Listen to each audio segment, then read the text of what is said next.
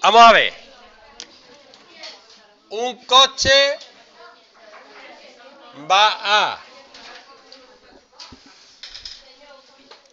50 kilómetros por hora de Estepona a Málaga.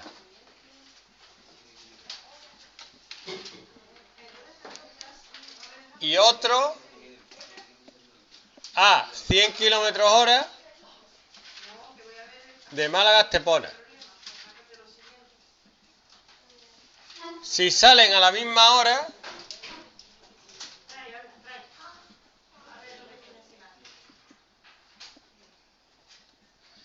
¿dónde y cuándo se encuentran?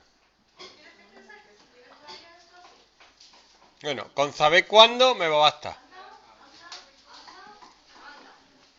Ya tenéis que empezar a aprender un poquito de física.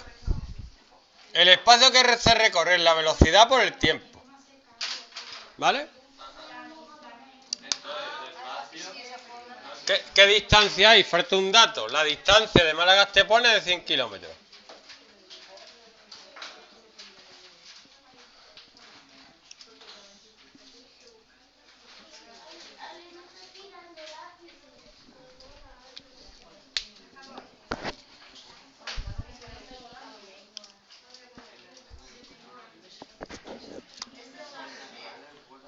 Entonces, yo tengo aquí Estepona.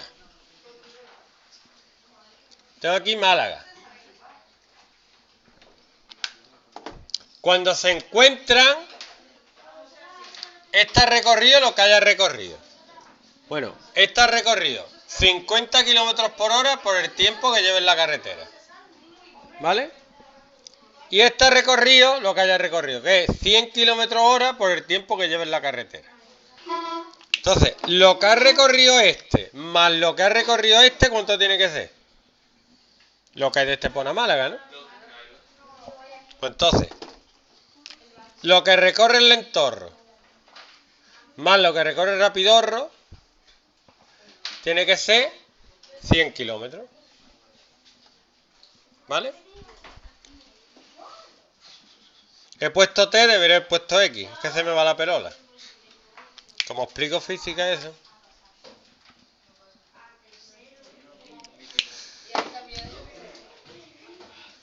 Pero X es el tiempo.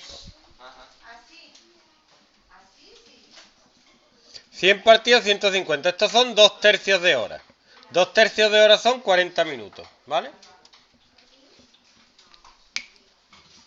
¿Qué pasa? No, tardan 40 minutos en encontrarse. ¿Cuánto recorre cada uno? Si este va a 50 kilómetros por hora y tarda dos tercios de hora, 100 partido 3. Y este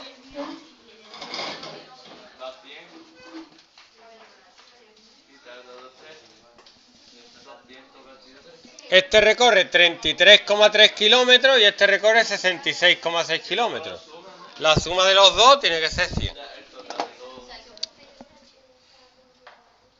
¿Ok?